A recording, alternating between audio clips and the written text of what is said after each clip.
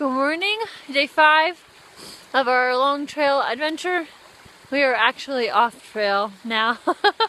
we had to get off um, probably about a half a mile in today realizing that the snow is just still coming down and um, so much higher than it was yesterday and so hard.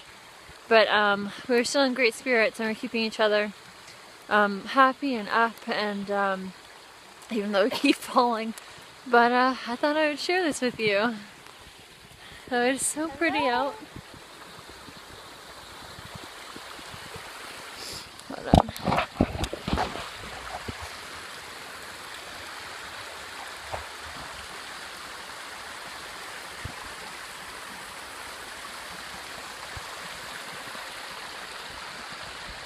you